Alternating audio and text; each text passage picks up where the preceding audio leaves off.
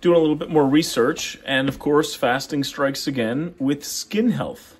It turns out that fasting, as a result of it turning on autophagy, and many of this literature that I'm reviewing shows that the autophagy that's that's achieved at around 17 to 18 hours of not eating um, is is the, the most significant.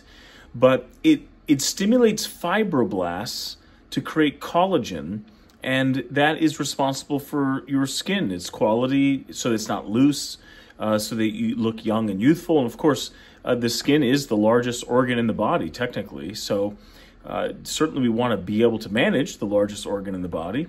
Uh, in, a, in a healthy way. But I thought this was fascinating. It turns out that people that were fasting about um, 18 hours a day showed autophagy markers uh, an increase of 22% just after four days of doing that regularly. Another group um, did the same window of fasting, about 18 hours, and after a month, one of those markers went up by 45%. Again, another marker for autophagy. Uh, and another group was fasting for a month, about 18 hours a day.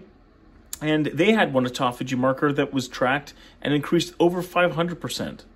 So, as I mentioned, you know, fasting leads to autophagy. Autophagy turns on fibroblasts.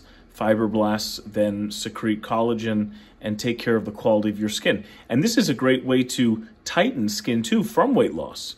Uh, that sometimes people have loose skin as a result of that. And um, yeah, who knew?